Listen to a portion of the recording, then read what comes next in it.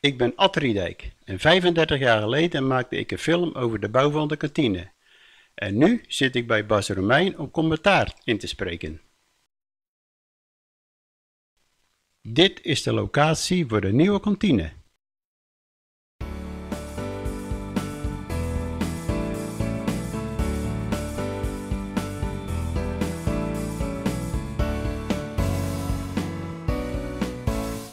De eerste paal werd geslagen door wethouder Matthijssen.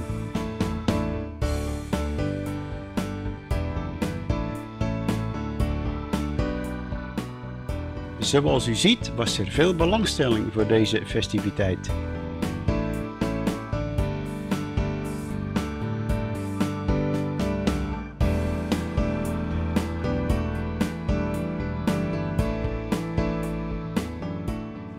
De werkzaamheden werden uitgevoerd door het aannemingsbedrijf Van de Vorm, maar met hulp van heel veel vrijwilligers. Hier ziet u Joop Notenboom, die was toen voorzitter.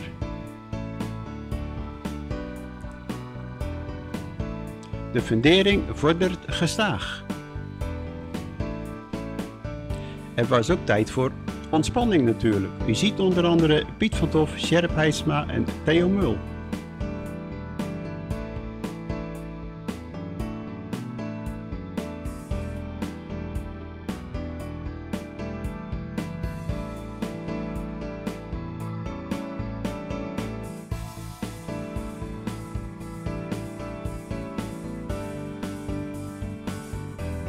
Ik kon helaas niet aanwezig zijn bij de eerste steen, vandaar dit fotoshot.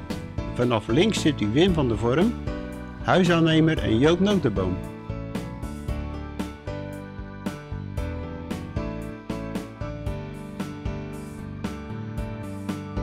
Rien Owens moest nog even wat voorbereidende werkzaamheden verrichten, voordat de betonvloer kon worden gestort.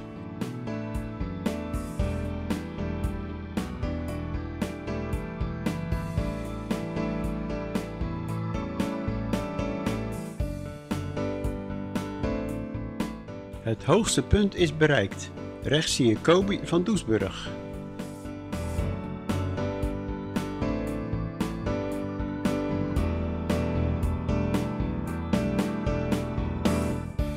Dit is mijn dochter en die vond het leuk om met pa mee te gaan. Om inkomsten te genereren voor de nieuwbouw werd een tegelactie georganiseerd. Voor 1,50 gulden kon men symbolisch een tegel kopen en er waren voor die tijd mooie prijzen te winnen.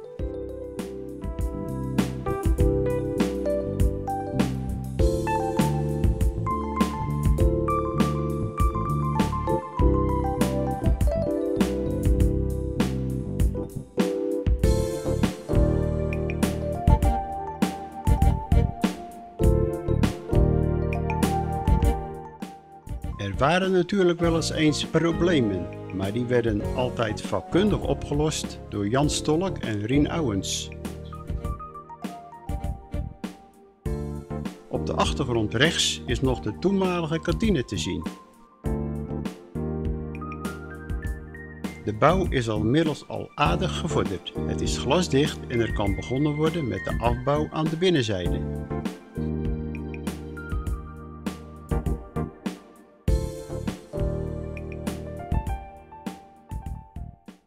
Joop Notenboom, de leider van ons eerste elftal, was sportman van het jaar 1981 van Barendrecht geworden. Piet van Tof was een van onze deskundige elektriciens. Er waren natuurlijk ook opmerkingen van mensen, maar dat kwam van diegenen die zelf aan de bekende zijlijn stonden. Willem van der Vorm stak ook zelf de handen uit de mouwen. Tot op de dag van vandaag is Peter Hogeweg ook nu nog als vrijwilliger bij onze vereniging betrokken. Ook dit was een actie om geld op te halen. Een kwartet met afbeeldingen van Smitshoek en Barendrecht. Er werd huis aan huis gegaan om al de kwartetten te verkopen. De bar wordt voorzien van bekleding. Jan van Vliet kon dat als geen ander. Hier heeft hij overleg met Jan Bravenboer in het midden over de juiste werkwijze. Ook toen werd er tijdens de pauze wel eens iets genuttigd.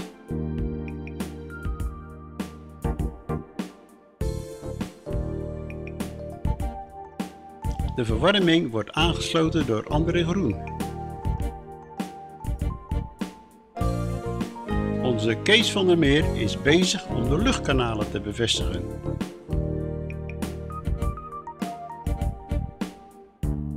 En zo te zien viel dit niet mee. De inzet van de vele vrijwilligers was hartverwarmend.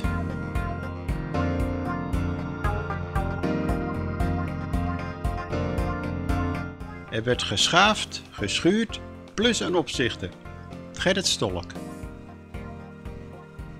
Peter Hogeweg aan het werk om de elektriciteit voor elkaar te brengen. Niet praten Jaap, maar doorwerken. De contouren van de bar zijn al aardig zichtbaar.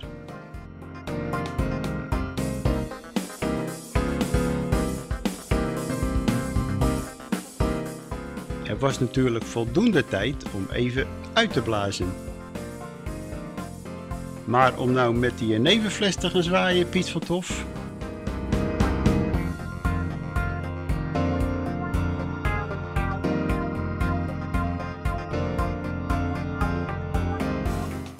Als de bar maar op tijd klaar is, iedereen is druk bezig.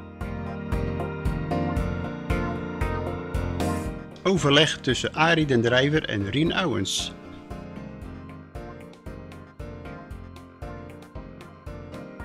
De bazaar in het wijkgebouw was een groot succes, onder de bezielende leiding van Jan Hogeweg en Ton van Gemerde.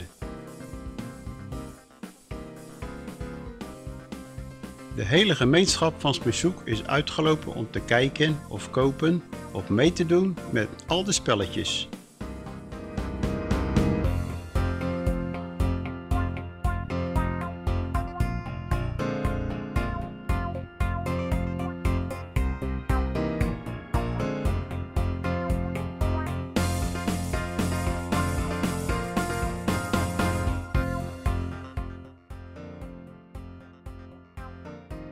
Deze avond was niet voor niets geweest.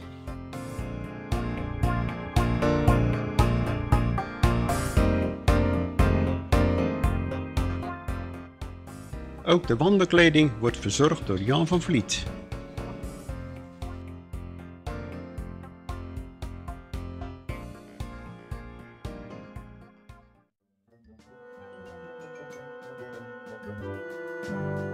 En kijk, dit is de oude kantine.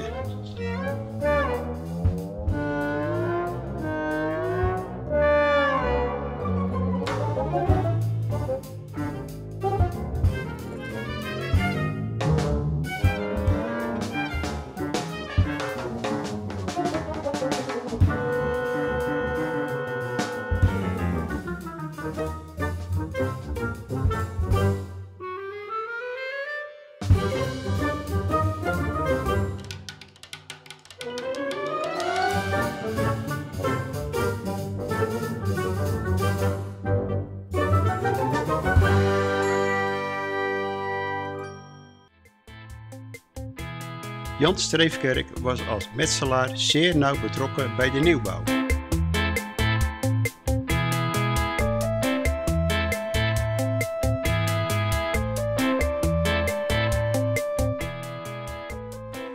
De laatste hand wordt gelegd aan de afwerking van de bar. Rechts zit die good old Piet van Doesburg.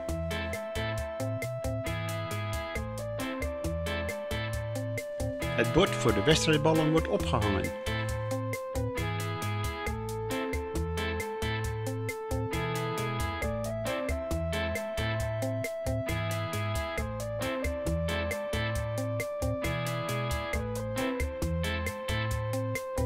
Toos van der Meer zorgde ervoor dat je van binnen naar buiten kon kijken.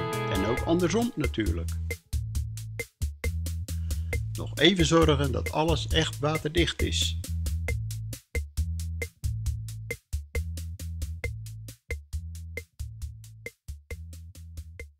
Wie zou dat nou zijn?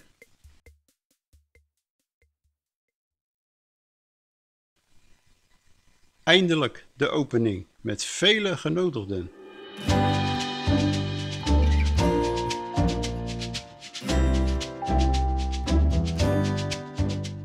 Onze penningmeester Roel Dijkstra wordt welkom geheten door Joop Notenboom.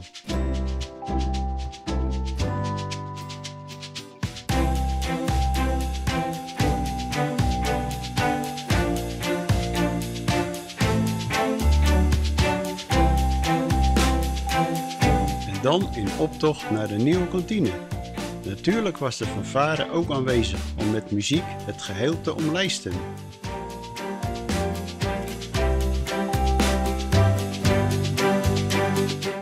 De officiële opening werd verricht door lokale burgemeester Nico de Notter.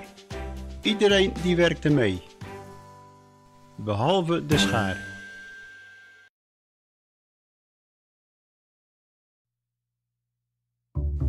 Het gastenboek werd door vele mensen ingevuld.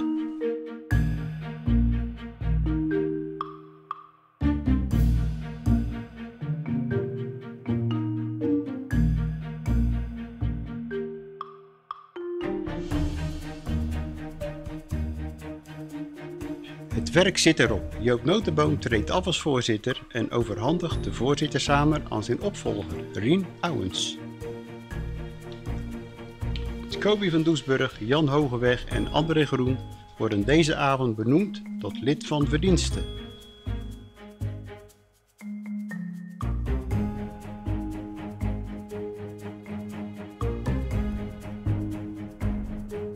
Ook de vele vrijwilligers worden in het zonnetje gezet.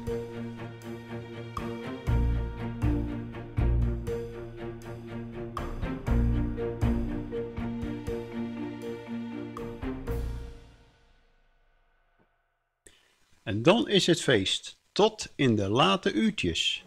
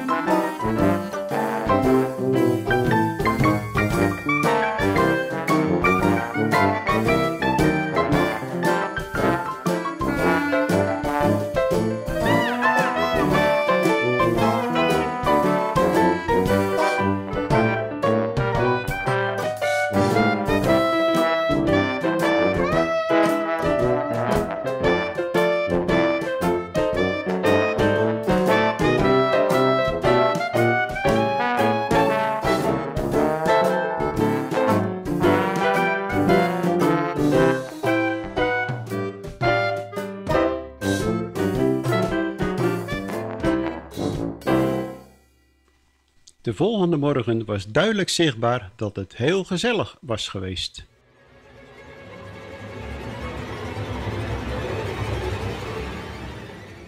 Onze oude kantine wordt afgebroken en daar hielp de jeugd graag aan mee. Het gaf een vreemd gevoel om de sloop te zien, want hier was het toch allemaal begonnen.